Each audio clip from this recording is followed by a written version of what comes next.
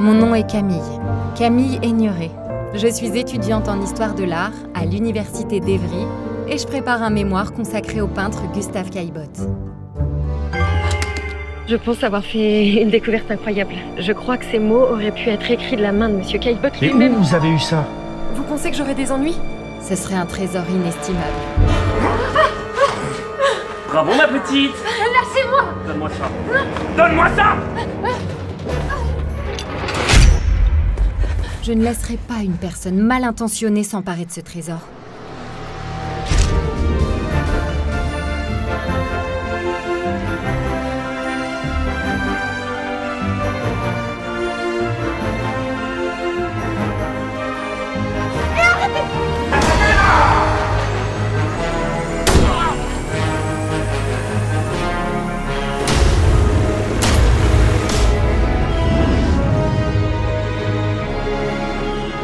Je parcourrai tout le département s'il le faut.